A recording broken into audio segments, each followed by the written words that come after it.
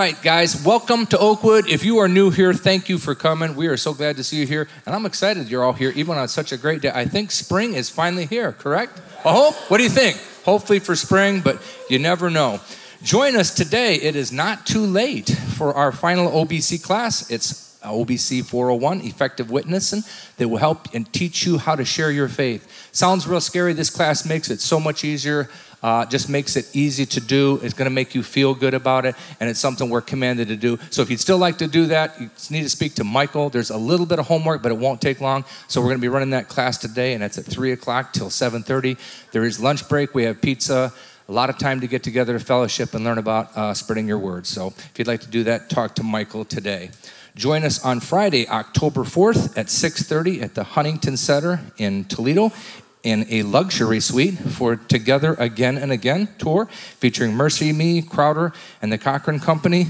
Join, uh, sign up on the website or app. See Dan Milner. Dan, raise your hand. I think most of you know Dan, but I'm sure this sells out really quick, so you'll need to see him right away or sign up real quick because anytime there's a suite and you got bands like that, it's going to sell out really quickly. Guys, if you are still not in a Bible study or a small group, uh, we'd love to have you there. There's so many opportunities here. Check out our web or our app site or our app to see uh, the different, all the different groups we have. This is where you're going to share uh, and get to know people. My very best friends, the people I know the best in this church, are been in my life groups or my Bible studies. So it's a great way to share the Lord and learn the Lord and get to know somebody. So, guys, if you haven't done that, check that out. Lots of different opportunities. Turn around, welcome someone to Oakwood, and let's get back to some awesome worship music. Love you guys.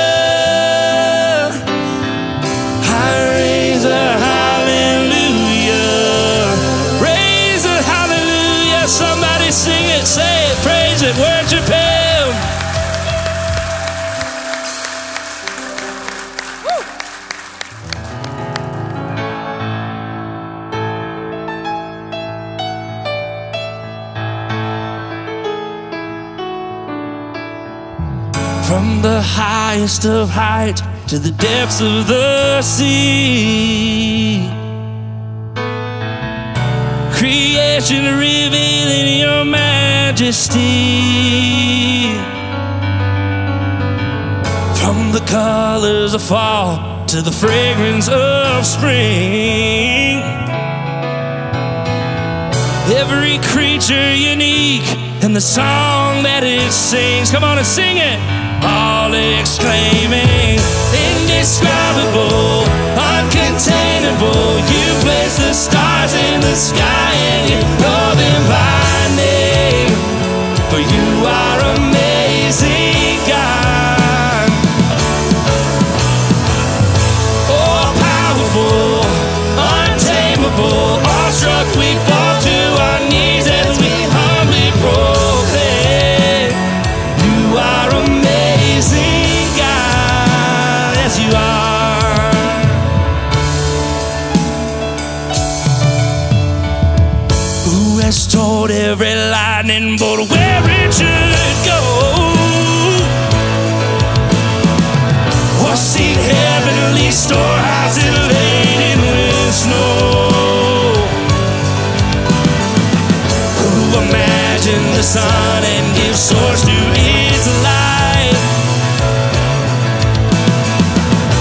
conceals it to bring us the coolness of night. None can fathom, indescribable, uncontainable. You place the stars in the sky.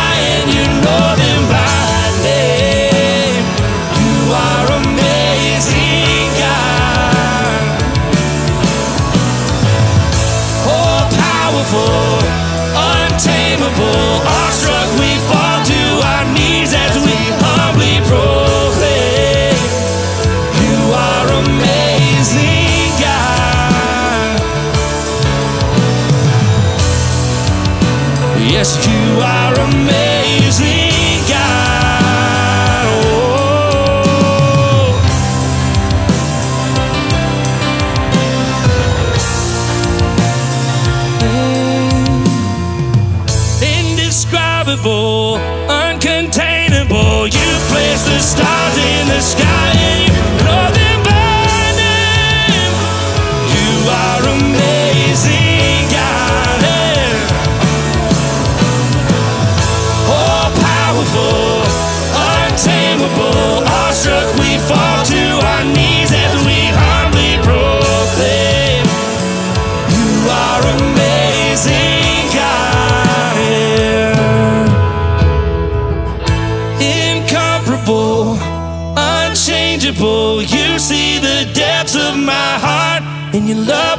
Same.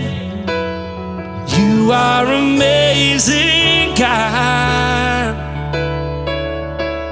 So you see the depths of my heart, and you love me the same.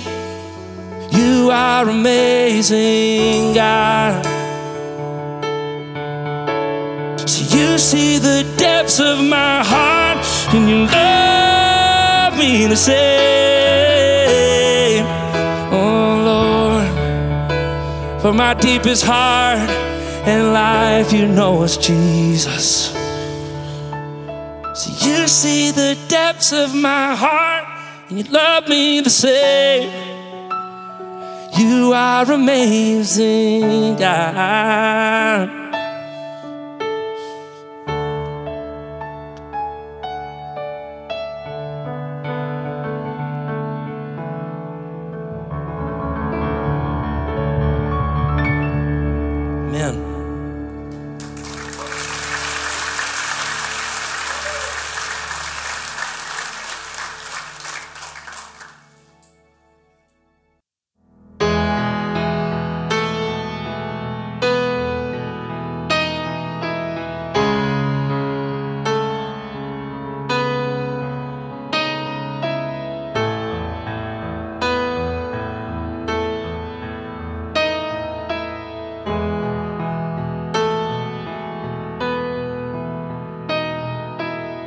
Just want to speak the name of Jesus over every heart and every mind.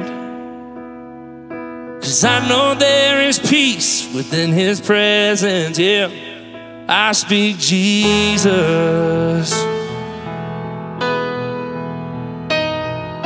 And I just want to speak the name of Jesus. Till every dark addiction starts to break.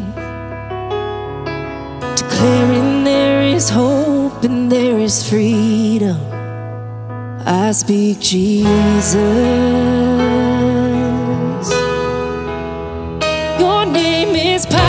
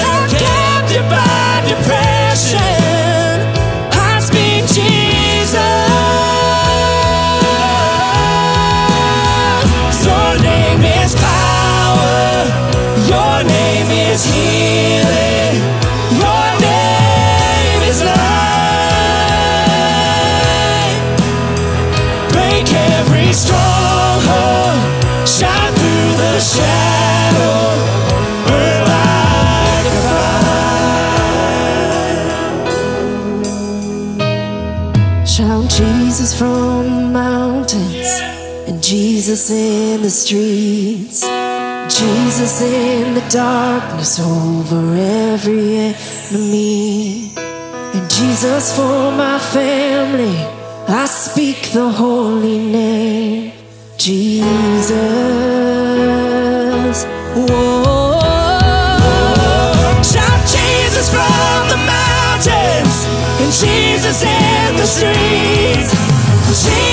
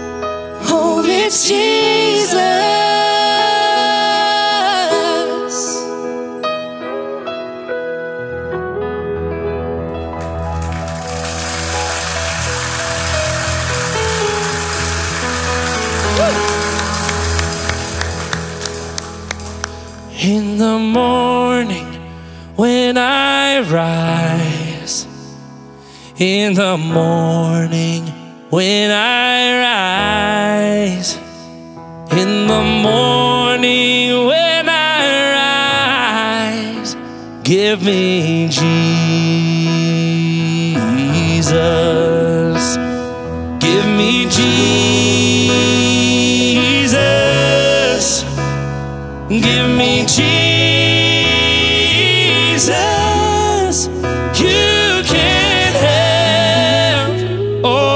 this world. Just give me Jesus. Amen. Now, when I am alone, is when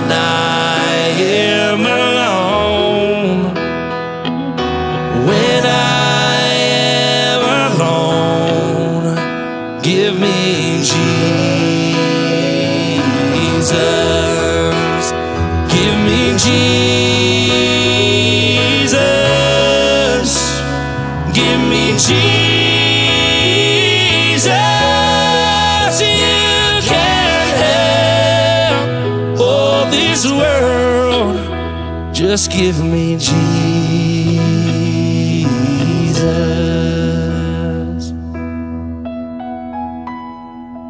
Now, when I come to die, when I come to die, when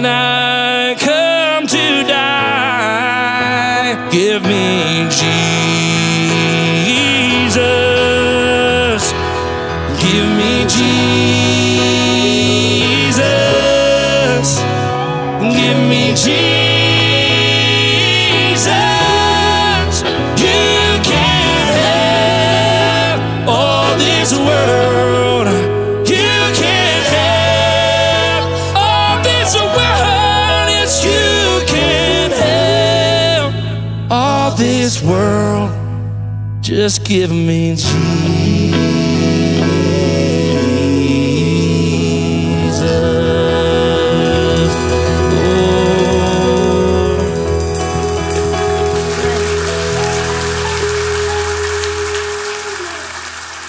Father God, we come before you today. We bow our heads and we worshiped you. We lifted our hands and worshiped you. We lifted our voices, our lives, our hearts, our walks where we are today. It's right here. It's all led us to right here, this moment before you, just to worship you. And in the midst of worshiping you, Lord, I feel that many of us found peace today. I feel that many of us who are struggling just have a, a moment to take a breath because we're right here at your feet.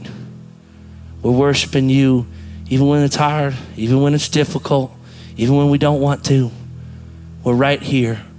You brought us to this building, to this church, to these people, to this pastor for a reason today. Soften our hearts. We're stubborn people. We are stubborn people in this life. Soften our hearts so that we can hear you speak. Word of God speak in this room today. Let the Holy Spirit fill every person in here. For those who are doubting, for those who don't believe, make them a believer today. You did not come here for nothing, church. There's a reason you are here, and yes, I'm talking to you. As our pastor comes to speak, anoint his words. And we are ready for your word today, Father.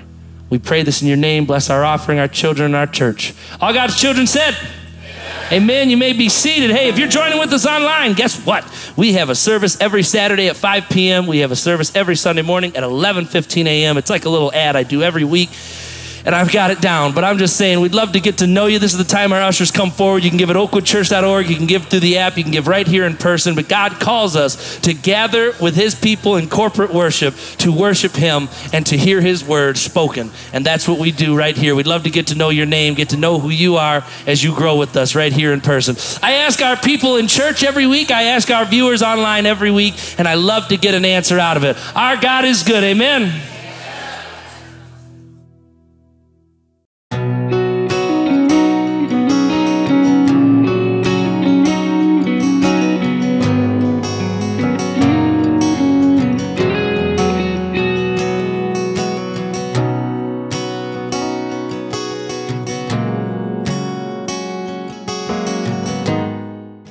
This, uh, the message this morning literally becomes picking up where I left off last week in sitting down with feeling a thought process of every single one of you sitting in this room and how you're supposed to be growing as a Christian.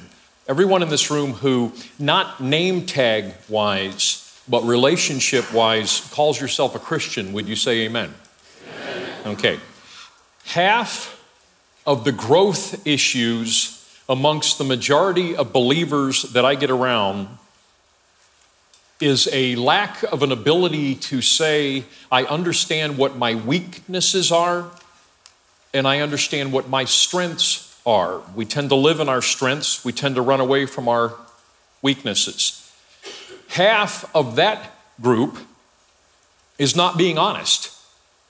They just won't sit down and say, This is who I am, this is what I'm going through. Most of that problem is is because of an inability to stop, turn off the television set, get off of the line of nonsense that we're listening to regularly, and just go and be in a place where we're by ourselves to analyze who we are. Most of us live in a world of what is thrown at us, we just swallow and deal with. We never stop to analyze. I have been um, whether you want to call it fortunate or unfortunate, um, I am a 66 year old individual who has been counseling adults since I was an 11 year old child. That sounds weird to you, so you'll understand it. Hi, my name is Frank. My father's name is also Frank. My father was a pastor. So when I was 11 year old child, the phone would ring, I would pick it up. That's back when we had to go get the phone. You remember those days? Pick up the phone. Is this Frank? Little 11 year old, yes.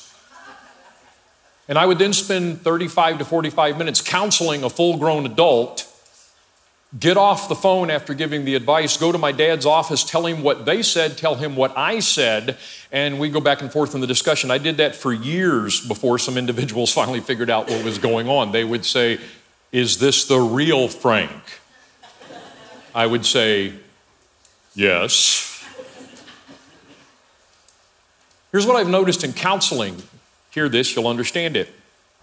In the last 20 years, things have changed. How have they changed? I deal with more nutcases in life than I ever have before. I deal with more angry people. I deal with more people that are so screwed up in the head, it's not even funny.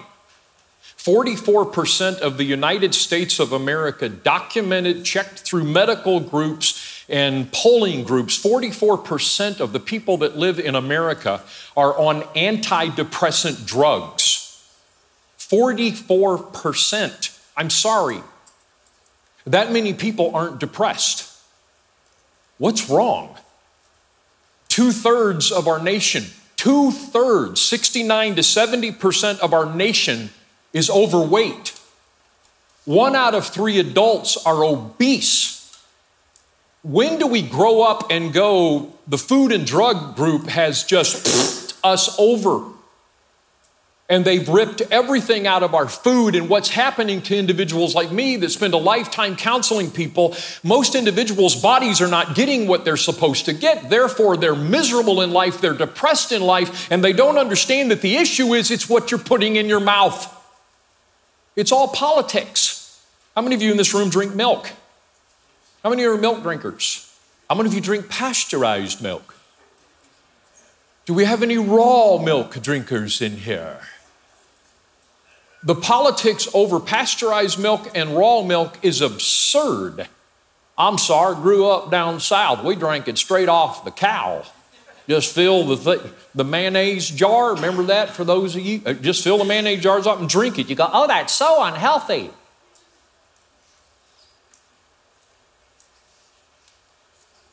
In 2020, 73 people died from getting sick from milk.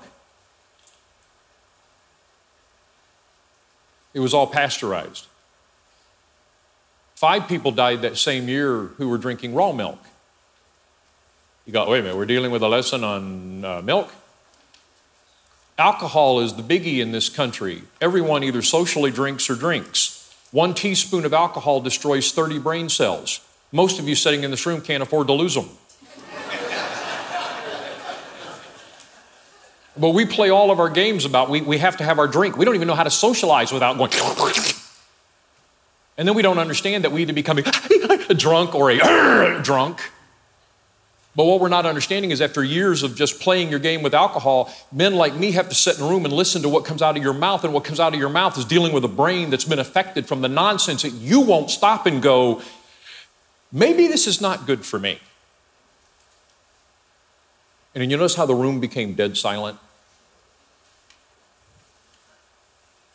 So I sit down and said, okay, God, we have an enemy playing games with us. And I get up and say things that in, individuals just get all freaked out, but very few people in this room actually plan to get 50 pounds overweight.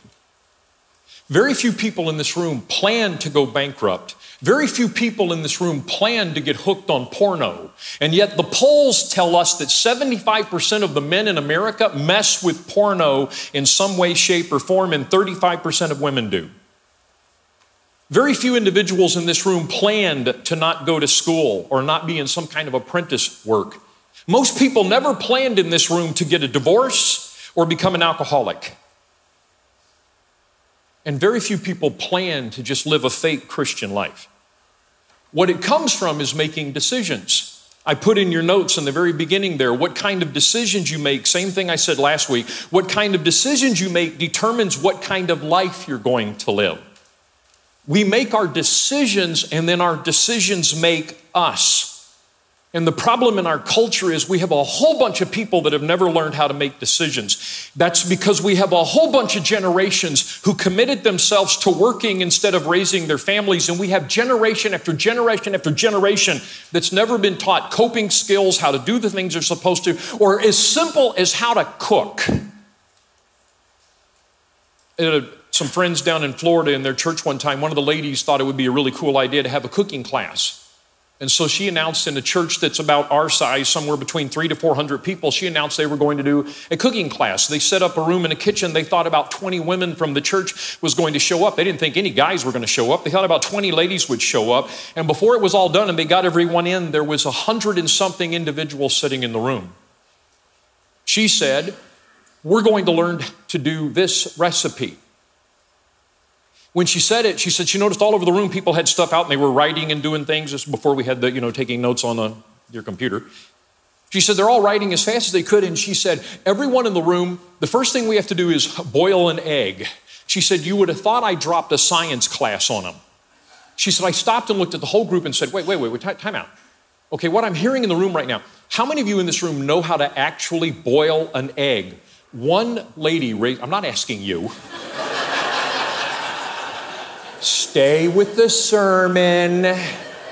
One lady in the room raised her hand. All the others just sit there looking at her. And she went, Wait a minute.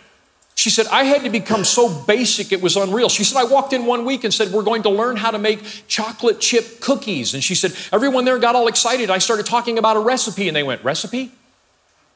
Don't you just peel the plastic and cut the slices off and throw them on the thing? My mother, one time, who was very sensitive, any of you had a mom who was very sensitive about her cooking? We had the Hispanic pastor in our church come over to eat with us. And he came over and he sat down, and we were having chicken fried steak and mashed potatoes and gravy. And, and, and, and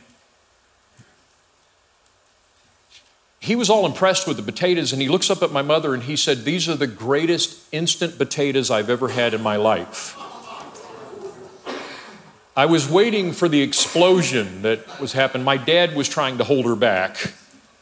As she began to explain to him these were not instant potatoes, he had never had anything outside of an instant potato in his whole life.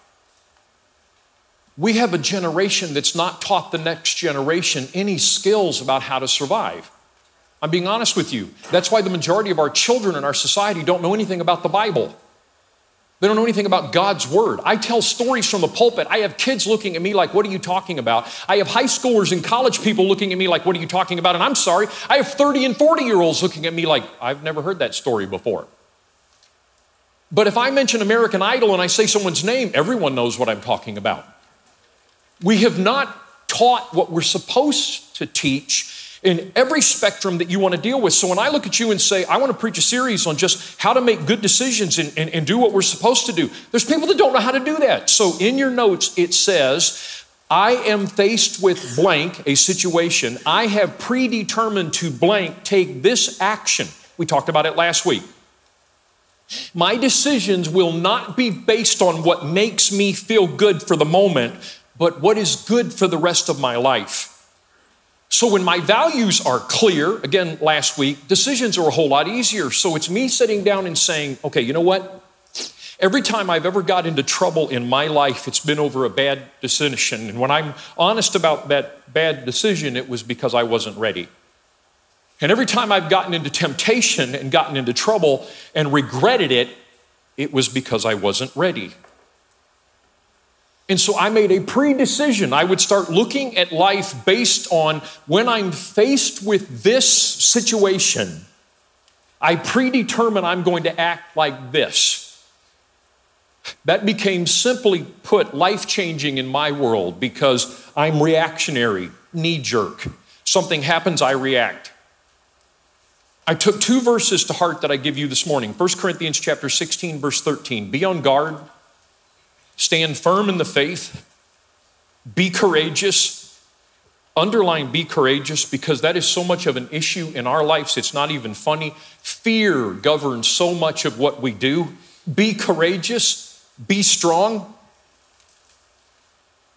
Matthew 26 41. Keep watch and pray so that you'll not give in to temptation. But please don't miss. Keep watch. That means pay attention to what's going on around you so you don't give in to temptation. Because the Spirit's willing. If I sit and have a conversation with you, you're going to go, Yeah, that's what I want to do. But the body is weak. These two verses are a powerful foundation, but it means keeping my eyes open. It means paying attention. It means listening to the people around me. We suck at that. It means saying to God, You've got me sitting in this room today for a reason. I'm here. So, what are you saying to me, God, that I, I, need to be prepared? I need to be ready. I need to be on guard. I need to watch and pray. Everyone that's married in here, say amen. How many of you are married to the greatest person in the world? How many of the greatest person in the world is also a twit? Isn't marriage exciting? So, me sitting down and saying, She's a woman, hello, woman that I'm married to, wave, please, please, please. That's the gorgeous creature I'm married to. Okay, me married to her, I'm a man, I am 100% man. I don't have a female part of me to get in contact with. She's 100% woman. How many of you have noticed that men and women are different? I don't give a flying flip what society says to you. We are different. And being different, I have to look at her and go, she doesn't think the way I think, she doesn't act the way I act. If there was a book written on how she would act, the book would be this thick. If there was a book written on how a man acts, the book would be this thick. Women are running around all the time trying to figure out what's in our head. Can I tell you what's in a man's head? Nothing. I scratch my butt. Who's looking? Hell, Jim. Whereas women are analyzing the living daylights out of everything. Okay, if we're going to be married with this, that means I have to sit down and say, okay, Father, you put her in my life for a reason, and praise God, you put me in her life for a reason. And since that's all there, what is God trying to do in her life, and what is God trying to do in my life? Decisions. I have decisions to make. Decision number one that I have to make, not in the notes, decision number one that I have to make in watching and praying are my ears going to open up and am I going to listen? Am I going to pay attention to what's going on around me or am I going just to be a normal male and say, Why I say be on guard, why I say stand firm in the faith, why I say be courageous, why I say be strong, why I say keep watch and pray is because we have an enemy and our enemy's goal is to destroy us. I am not going to spend this sermon telling you that we have an enemy. If you're a born again believer, you learned a long time ago there is a God and we have an enemy. He is a fallen angel. This is not the yin and yang. This is not black and white. This is not any of this nonsense. He is not God. He's not omnipresent. He's not omnipotent. He's not omniscient. He's none of those things. He is a piece of living trash. And he wants to destroy you. And half of his game is getting you to go, Oh, I don't know if he really exists. Keep telling yourself that cupcake. And he's winning. So if we become a believer that says, Father, I accept what you said, that I have an enemy who's upset at me because we're your chosen and he's not, then if I'm going to live in that, watch and pray means number one, in your notes, mark out the enemy's plan. I have to sit and say, this is what he's doing. And I love Paul when he says, I wrote to you as I did to test you and see if you would fully comply with my instructions. When you forgive this man, stop. Okay, we are now caught in a situation that this is one of those stories in the Bible that we don't have all the information to. What we do know this wise is there's an individual that offended the church, did something he wasn't supposed to. This is called church discipline. Oakwood's done it twice in their 26 years, where an individual does something they're not supposed to, and we do what the Bible says. An individual goes to them and says, You're not supposed to do this. They don't listen. We go get another individual. They don't listen. We go get a pastor. They don't listen. It comes before the whole church, and we kick them out of the church. Most churches don't have the guts to do that today. We do it out of love, not out of hatred. Technical question. This body is dealing with a guy that did something he wasn't supposed to. He apparently did something to Paul because he's dealing with the issue of forgiveness. And he's saying to the body, You have to forgive this guy. Because if you don't forgive this guy, the problems are going to get worse. Have you ever noticed how easy it is to forgive a person when they do something to someone else? But when it's you, so apparently, there's a bunch of offended people in this congregation, and Paul writes them a letter to say, I'm testing you. You've got this guy that did this. You're supposed to forgive him. Everyone in the congregation is like, Amen, we're supposed to forgive him. But a few people are not being able to forgive because it involved them personally. But God said you're supposed to forgive. In our church one time, there was a lady and her boyfriend that had multiple kids, would not get married. We talked to them multiple times. They just said they weren't doing it. Went through a whole process. We finally said, You need to leave the church. This is improper. And so they finally left the church. Six months later, I'm standing looking at people walking in the door, and here she came walking in the door after she was told you're not allowed to come back to the church. She comes walking in the door, but she's walking in the door like this because she had a wedding ring on her finger. And that morning, she walked up to the front of the church and stood there and apologized to everybody in the congregation for the whole process of what had gone through and happened in that church and in that body. What was the job of everybody in the church? To forgive her, to love on her and care for her. There's not a one of you in this room that are perfect. I hate to break that to you. You're not perfect. And when we do things that offend each other, we're supposed to forgive each other. We're supposed to love on each other. We're supposed to care for each other. And we're supposed to look at each other and say, I forgive, I let go. I'm your brother or sister in Christ, and I'm going to love on you. Everyone who agrees, say amen. Okay. The enemy doesn't like that. So when he's dealing with what Paul's dealing with, Paul says to them, And when I forgive whatever needs to be forgiven, I do so with Christ's authority for your benefit, so that Satan will not outsmart us. We are familiar with his evil schemes. I'm asking you, are we?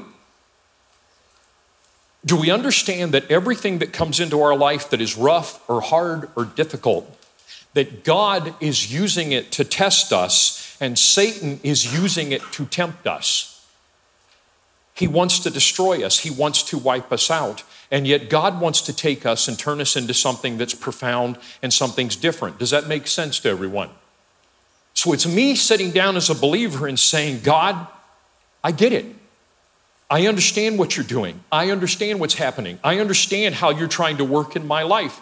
And I understand that you use really difficult situations in our lives to help us grow. But the enemy uses really difficult situations in our life to destroy us. God is trying to prepare us for something, our enemy is trying to destroy us. When we get that in our head, the game that's going on, number two, I watch and pray. My mission is to never assume all of my life listening to people talk. I know you're strong. I know you have great abilities, but you're not as strong as you think you are. You have a responsibility, hear me, you have a responsibility to be honest. I am married. I have a responsibility to be what I am supposed to be to her, no matter how I'm feeling, no matter what I'm doing, and walking around saying I'm a-okay and everything is fine. 1 Corinthians chapter 10, verse 12 says, if you think you're standing strong, be careful not to fall. Counselors have watched this forever. Pastors, professional counselors, people overestimate their ability to resist temptation. Resisting temptation takes tons of energy. And the part of your brain that helps you go no gets tired and gives in. And when we give in, all the guilt kicks in. Sorry, I use this, it's dumb. I know it's dumb. Do any of you in this room have the same problem I do with chocolate covered Bavarian cream donuts? Do any of you, when you drive by Tim Hortons, have to say, I rebuke you, Satan?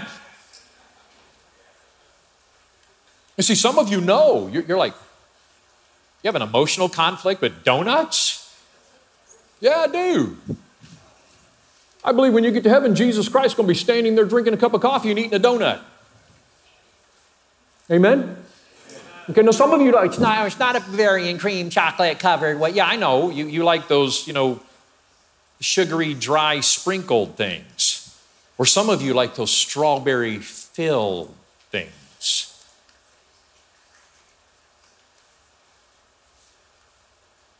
I can take my whole sermon and stop because I've listened to people do this all my life. I had gastro bypass surgery to reach into my life to help change Frank to go from one size to another. Do you know how many individuals I heard say the words to me, Why don't you just learn to push away from the table? I said things back to them like, Won't you learn to shut your big mouth? I have a problem with opening my mouth for food. You have a problem with opening your mouth to let garbage out. You go, You're being rude. They weren't. See, I can, I can, just stop and go, I'm sorry, that was my struggle in life. Some of you, your struggle is a bottle of alcohol. Can we all be honest with each other? Hi, my name's Pastor Radcliff. Many of you have heard me preach for a long time. I've never had a beer. I've never put whiskey in my body. I've never smoked. I've never taken drugs. Do you know that I do not get done with church? Last night, I'll use last night because it was, it was late, it was dark, I was tired. I don't get done with church and I'm on my way down the road, and there's not a part of me that goes, I think I need a beer to relax. The enemy doesn't attack me with that. Okay, the enemy's not going to come up to me after church today with some guy and go, Yo, man, just got in from, you know, hey, got some really good stuff. I'm not going to go, Oh, baby. How many of you would guess I'm not going to do that? Not, it just, it's just not happening. I don't get done and go, well, I need a cigarette in the worst way. That's just, that's not me. But in your world, that might be where you struggle. This might be your dog fights, not my dog fight. Okay, that's what we have to understand. The enemy doesn't look at us and go, here's something that has never been your issue, and we're going to attack you with it. He attacks you with something that is an issue that you've already been warring with. I came to the house the other day, I pulled into my driveway, I looked over, and a woodchuck went running underneath the deck. How many of you know that woodchucks and dogs don't mix? Okay, so all of my dogs, all three, my dogs are big. They can't get under the deck. But we got this one strong willed, strong minded little fart named Clara that's a dachshund. She fits right under there. So Robin has to keep yelling at her to get out from under the deck because if the dachshund and the woodchuck meet each other, dachshund's dachshund badger dog, there's going to be a war. Okay, I don't want that war to take place. Everybody agree? Okay, so I come out and I see the woodchuck. Well, I didn't get to the woodchuck in time to, you know, pull out my handy dandy Baptist gun and shoot. So it's under the deck. Now I have to trap it. Okay, but woodchucks aren't stupid. Okay, they're not just going to walk into a trap. They're Methodist. They don't go into tight places, okay? Some of you that don't get that, tell the people who don't. Okay, anyway. So I've, I've, i know this. You know, I can look up woodchuck's favorite food. It's not filet mignon. Nope. It's not lettuce. No. No, they tend to like cantaloupe or squash. And so it's me going and buying the right stuff. It's also then me being smart. It's not taking the whole stupid thing and putting it in the cage to trap them. It's putting a little bit of it out on the ground so the woodchuck finds a little piece of it and sits there going, oh, nice, nice, nice. Yeah, mm, bring more, more, more, more. And then I put a little more and a little more and a little more. And I keep moving it where? Over to the trap. And finally, there's a nice big display of it with, you know, porno woodchuck pictures in there.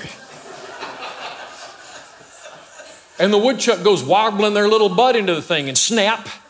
Isn't that where Frank wanted the woodchuck? Then isn't this how the enemy messes with you?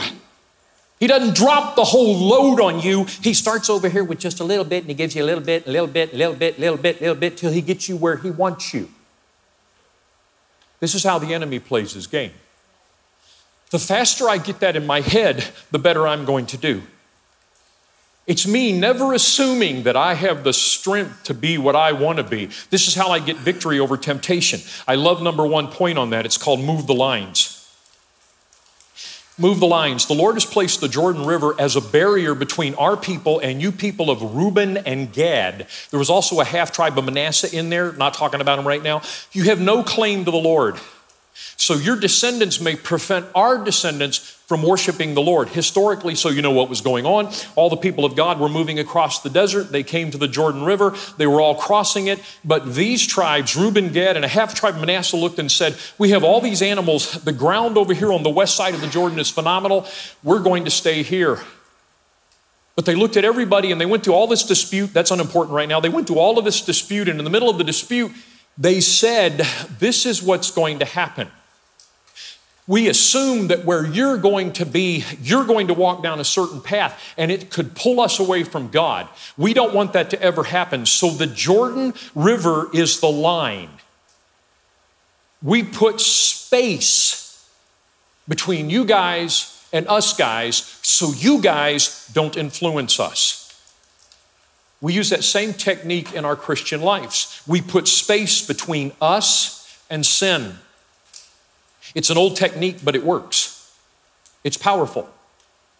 We pre decide, I'm going to make a better choice, I'm going to live a better life. And this is the line right here.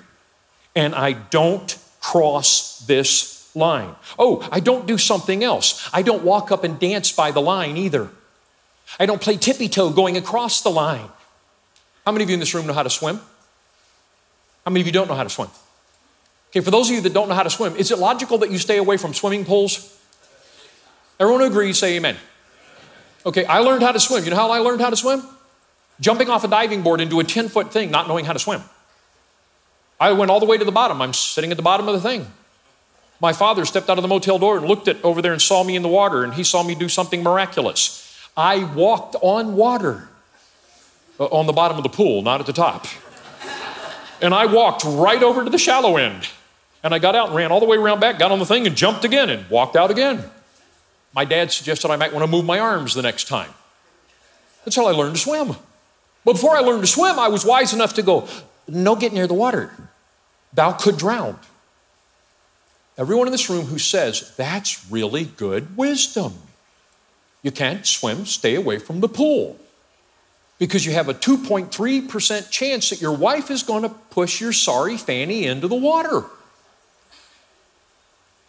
Therefore, I stay away from the pool. I stay far away from the pool because I'm safe staying away from the pool. Issue. What issue is it that rains havoc in your life? I will go this far. I won't get any closer. If you have a problem with drinking, isn't it logical to you to stay away from bars? Um, hmm. If you have an issue with overspending on Amazon, isn't it logical stay off the computer? Or maybe give a friend of yours your password so they can check and cancel orders and protect you? Isn't it logical? You're going to start dating and you go, okay, what, what, what, what do I know I'm like? All men in this room that like women say amen? Mm, okay. So, since I know that I have a propensity toward liking ladies and I start dating, isn't it just sheer logical? Okay, if I do this, it's going to lead to this, and if I do this, it's going to lead to that. So maybe I don't do this so it doesn't lead to that. Like, okay, no sniffing hair.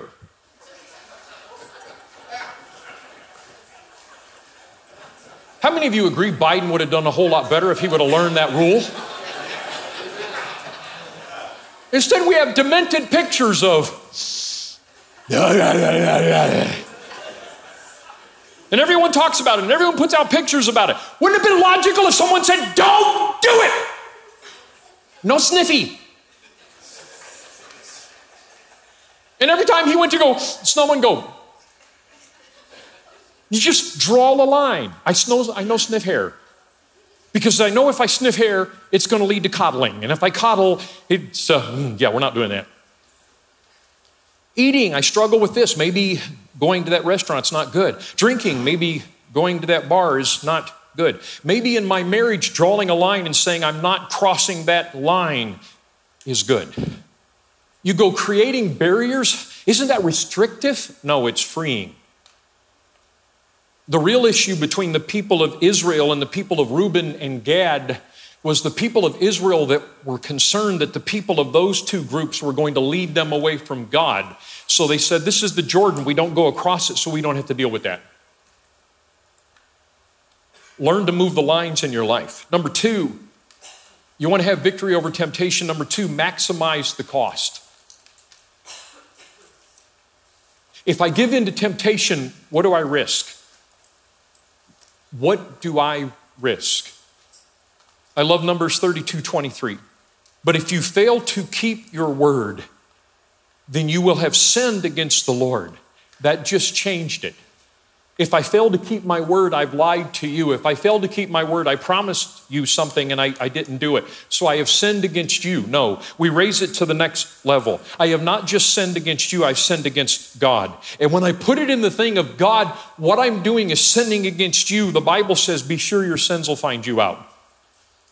We have lost that principle in our growing that me thinking I can do stuff in secret where no one knows it is forgetting that I have a Savior that sees everything that I do. So, me taking any struggle that I live in to help myself, I ask myself this question What is the worst that could happen? If I live a life without God's word, what could happen? If I've refused to pray, what could happen? What does walking into a certain sin in my life produce? I walked down the aisle just like a bunch of you did. I got married to a woman that I love with all of my heart, just like a bunch of you did. I made a proclamation that I would stay loyal to her for the rest of my life. She deserves that. Please hear what I just said. She deserves that. I am not a self centered, egotistical male. I am a servant called to serve her. There's multiple ladies in this room that have met with me before. All the ladies that have met with me before, you've noticed that I don't ever meet with you in a place where no one is. If you're a lady in this room and you've, Pastor Frank, I need to meet with you, we always go to a restaurant, correct? 99.9% of the time, every lady I meet with, I meet with at Leo's. How many of you ladies have noticed that? I go to Leo's. Once a year, every year, I walk into Leo's. I look at all the waitresses and I go, Hi, you're my backup. The new ones are always like, What? You're my backup. What do you mean I'm your backup? Um, how many of you know multiple stories of pastors that had affairs? The Jim Bakkers, the Jimmy Swaggarts, and all that bull crud in our society? I hear it again and again and again and again and again. Men and women who are in leadership don't know how to raise to a certain point in life because they were never given the skills by mommy and daddy. They don't know how to reach a certain point of individuals looking at them. I am a pastor in a church. I can't go anywhere. People don't know me. I walk into places all the time, and, and there's a, hey, Pastor, how's it going? I walk into places all the time. Ah, that's that jerk religious dude. I was walked in Walmart the other day. This guy saw my Satan Sucks shirt and just went off, all bugged about my Satan Sucks shirt in front of everybody. He wasn't smart enough to know the more he mouthed, the more I got to answer back, the more I got to answer back, the more I got to preach. Here's what I learned in life you don't have to do anything, you just have to be accused. If someone accuses you, leader, of doing something you're not supposed to do, your life is destroyed. So I have to go overboard. I have to sit down and say, a lady wants to meet me. Sometimes, no, go talk to one of the other women in the church. Sometimes I meet with them, and when I meet with them, I go meet in a restaurant. I sit with waitresses and I say, You're my backup. You're the one that makes sure that everything I'm doing is fine, and that if someone ever says, Oh, Pastor Frank was with so and so, you're getting drug in to say, Hi, this is my fellow neighborhood waitress here. She knows exactly what I was doing. You might think that's overkill. I call it living in the world of what's the worst that can happen. Because you know what I refuse to do? And she's heard me say it. I refuse to ever break her heart. I refuse to ever have to walk in and look at her and say, I'm sorry. I refuse to ever have to walk up to my children and look at them and say, I screwed up. I don't want to walk my best friend Ron and tell Ron I failed. And I don't want to ever stand in my pulpit with tears rolling down my face telling you I was wrong. Please forgive me. I would rather stand on this side of the line as far away as I can stand so I don't have to worry about it. Does that make sense to you guys? See, it works in your life too. It's me sitting down and saying, you know what, God, I got it. I, I, I, understand what I'm supposed to be doing. I understand how I'm supposed to live this. And I understand sitting down and saying, I have to maximize this because I agree with what C.S. Lewis said. Integrity is doing the right thing even when no one is watching. When no one's standing there, I still do what I'm supposed to do. Oh, I also understand a third thing about it. I called it mapping out your escape. One of my favorite characters in the Bible is a guy named Joseph. I love Joseph in Scripture. Everything that could be done to Joseph was done to Joseph. Joseph, from a young man, knew that God was going to use him as a leader.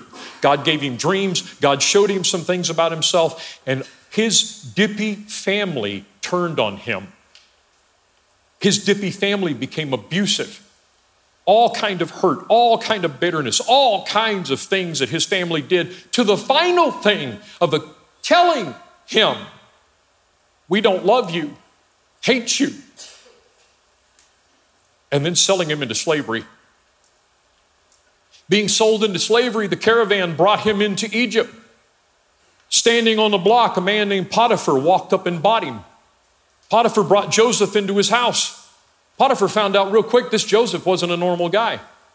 This guy had phenomenal organizational skills, great leadership, and could run everything. And Potiphar just said, Here, bud, it's yours. I'm going down to the gambling house and do what I want to do. I don't have to worry about anything. You've got it covered.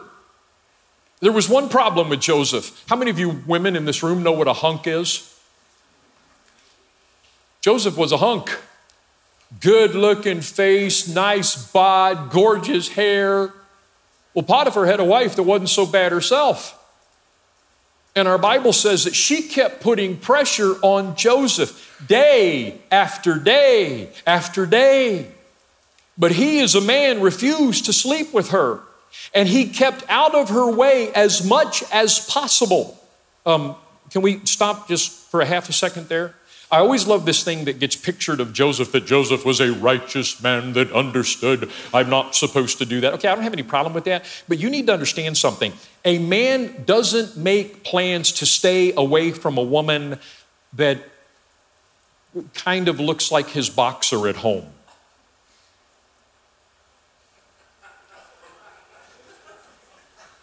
Understand? If mama ain't so good looking, daddy doesn't have plans. If mama is hot, daddy got to make plans. And what Joseph was seeing was Potiphar's wife that was a babe.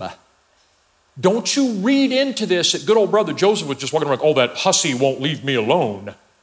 No, he was saying, I'm not going into the house, I'm not doing this, I'm not doing that, because somewhere in his heart there was a thing of going, Oh, my soul, she is. Ooh. And she kept putting pressure. I, I, I love this, the, the wonderful line in here, kind of the same sign. Refuse to sleep with her, that means have sex. So one day, however, no one else was around when he went in to do his work. She came and grabbed him by his cloak, demanding, Come and have sex with me. Joseph tore himself away. Ladies, wouldn't you love it if some little hussy at work went after your husband and his answer to it was not, Oh, I'm sorry, ma'am, I don't do that. His answer was, Ah! and, and ran. And you got a phone call from people at work. Do you know what your husband did today? He ran down the hallway in the office screaming his lungs out because Mary Lou was trying to flirt with him. You, as a woman, would do two things. One, you'd walk up and kiss him and say, I'll take care of you tonight. And two, you go, and what is Mary Lou's office number? All ladies who agree say amen. amen. Thank you. At Oakwood, people are not afraid of our men. They're scared senseless of our women, so don't ever forget that, okay? She grabbed him. Don't ever forget this. No one plans to mess up, but very few people plan not to. Most of us don't sit down and say, you know what, I need to lay a plan out. Joseph did. She comes and grabs me, I'm splitting.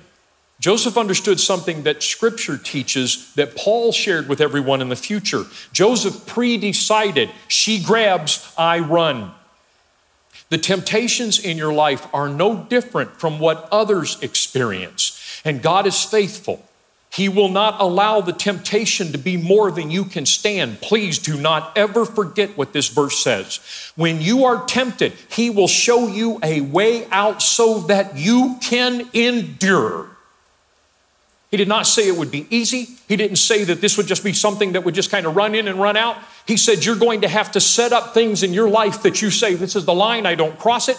I take things in my head and I grow them to say, This is the extreme. It could get this bad. I'm not doing this. And then that I plan a way to get out of this because it is better to have a good name than to have a good coat. Everyone agree? And so Joseph lost his coat. Oh, his coat got him accused. And I want you to never forget the next thing I'm going to say. Joseph got accused and put in a jail cell. Their jail cells were nothing like our jail cells today. Their jail cells were hell holes. So Joseph, sitting in a jail cell, starving, Joseph sitting in a room that there was no place to go outside and go to the bathroom. He went to the bathroom in that room every single day, couldn't have his clothes washed, couldn't take a bath, and lived in that hellhole. Don't you think that Joseph, sitting in that mess, got attacked with despondency, depression, and out of it Because in his heart, he felt God had turned the lights off.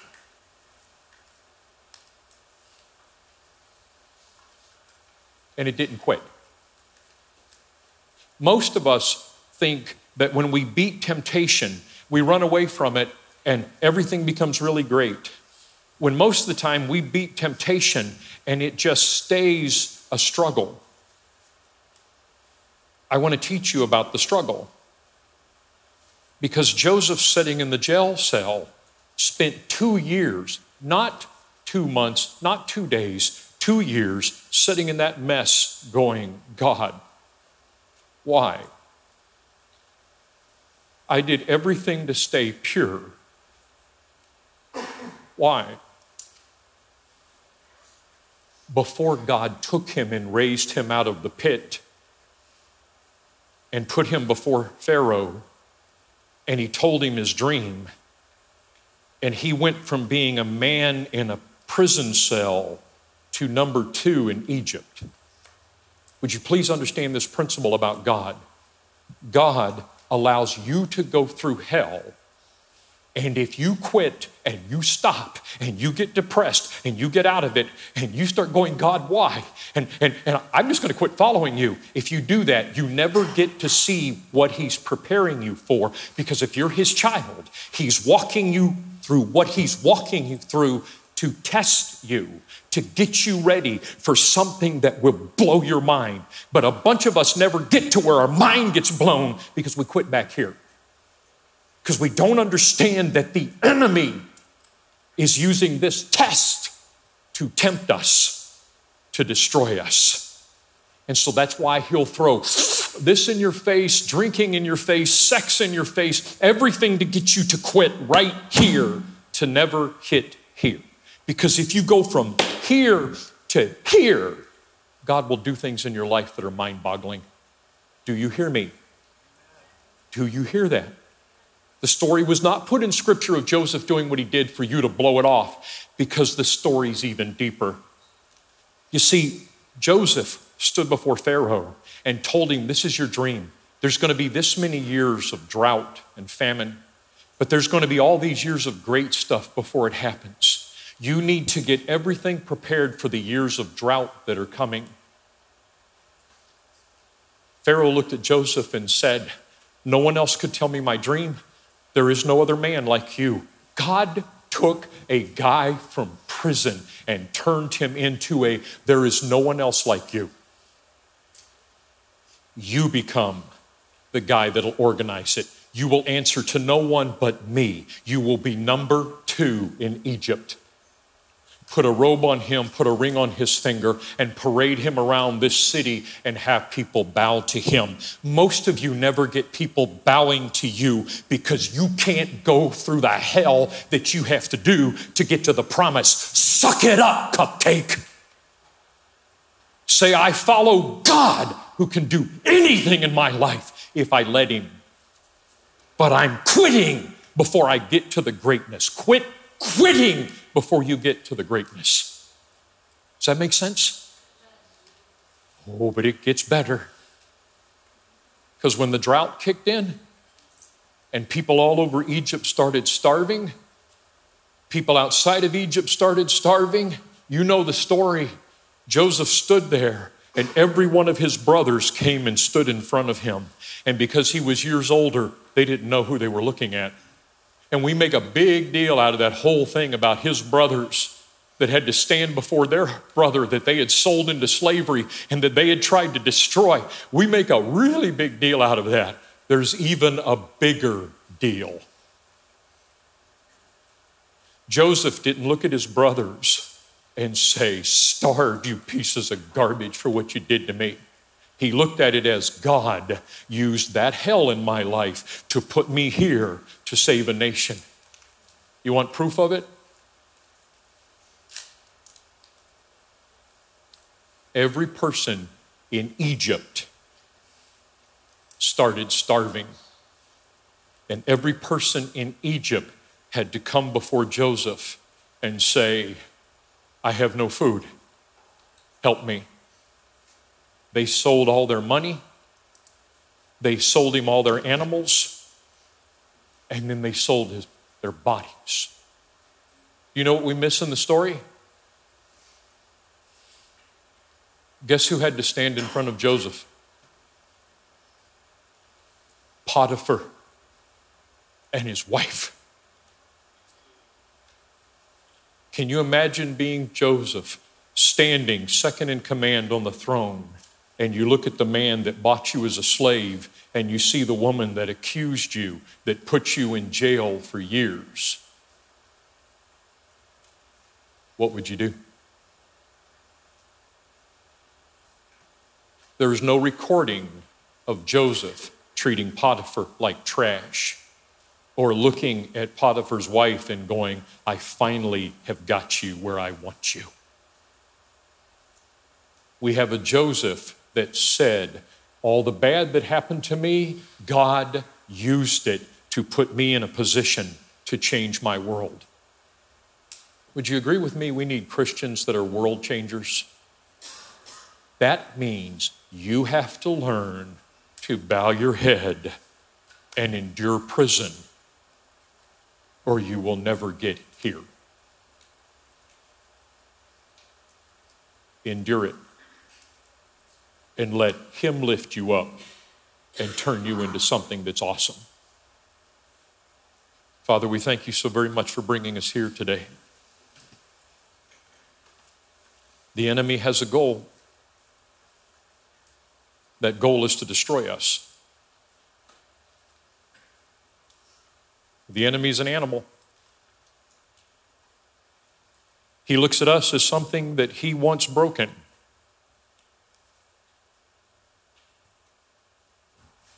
He attacks us as individuals. He attacks the world. It's all a game. Yesterday, Father, some nasty, foul piece of garbage nation fired missiles into Israel.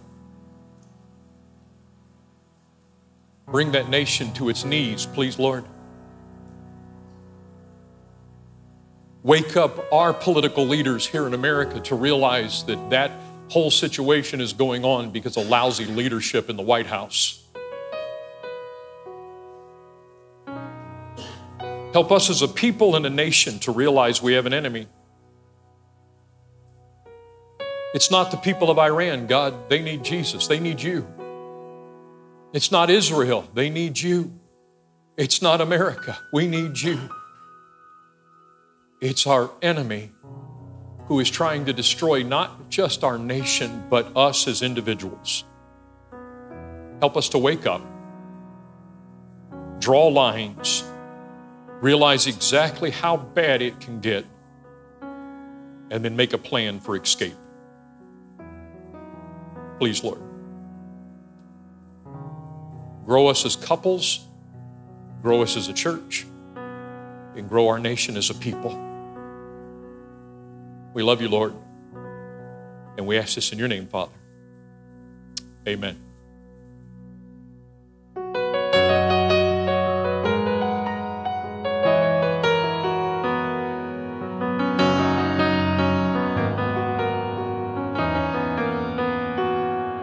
No height, no depth, no life a final breath could ever separate us from your love. No failure, no mistake, no loneliness or pain could ever separate us from your love. Could ever separate us from your love. Cause on the other side of everything I'm afraid of, you are standing with your arms wide open, wide open. Even in my deepest doubts and wonders, you are standing with your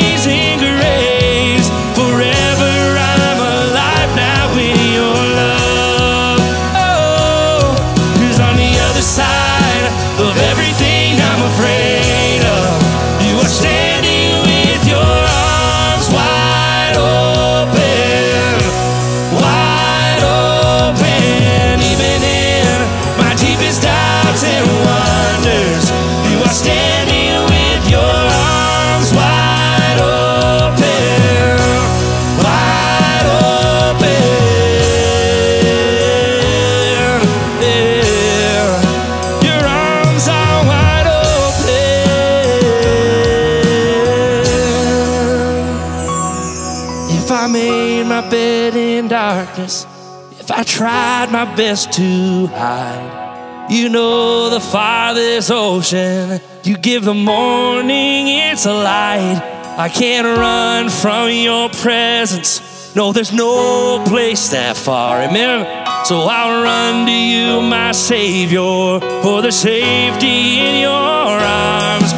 If I made my bed in darkness, if I tried my best to hide, you know the farthest ocean. You give the morning its light. I can't run from your presence. Yeah, there's no place that far. So I'll run to you, my Savior, for there's